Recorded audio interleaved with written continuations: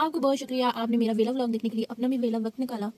तो आज का हमारा मिशन है कि हमें कोई भी लफ्ज़ अंग्रेज़ी का इस्तेमाल किए बगैर जो तो बात करूँगी। तो कोई भी मैंने लफ्ज़ इंग्लिश का मतलब अंग्रेज़ी का नहीं बोलना है तो ये मिशन आप भी अपने घर में इस्तेमाल कर सकते हैं। ये थे जी मेरे फूलों के पौधे, जिनका सीज़न मतलब जिनका मौसम ख़त्म हो गया है। ये है जी हमारे खजूर का दरख्त, और ये है इसके साथ छोटे छोटे बच्चे, और ये हमने इसको इसके साथ बांधा हुआ है कि कहीं अपने बच्चों को लेकर भाग ना जाए। ये जो खजूर है तो बहुत साल पुरानी है, लेकिन आज तक इसके साथ कोई सिंगल मतलब एक खजूर भी नहीं लगी है।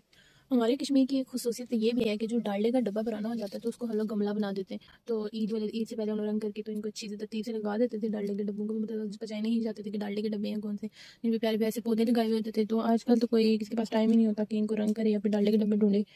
एक डाले का डब्बा ये भी है जिसमें मैंने साल पहले रंग किया था और ये बड़ा प्यारा लग रहा था, लेकिन अभी इसकी बड़ी पैड़ी शक्ल हुई भी है। लेकिन इसके ऊपर पौधा लगा हुआ है, बड़ा ही खूबसूरत है। अच्छा ये जो आपको नज़र आ रहा है तो ये कश्मीर का देसी झाड़ू है, ये हम लोग झाड़ियों को तोड़ के ना इसको झाड़ू बनाते हैं। तो झाड़ू के बहुत से फ़वाद होते हैं। एक तो सफ़ाई करने के काम आता है, और दूसरा कुछ माएँ होती हैं जो कि अपने बच्चों की सफ़ाई कर लेती हैं। तो आपको इसके अलावा और कोई फ़ायदा पता हो झाड़ू का तो वो कमेंट में ज़रूर बताइएगा।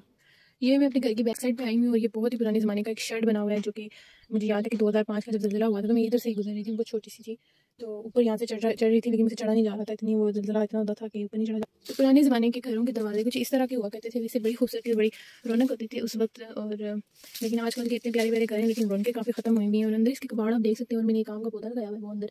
ये दरख्त भी उस वक्त की निशानी है, जब मैं 2005 से पाँच सालों की होती थी और यहाँ से मैं गुजर रही थी।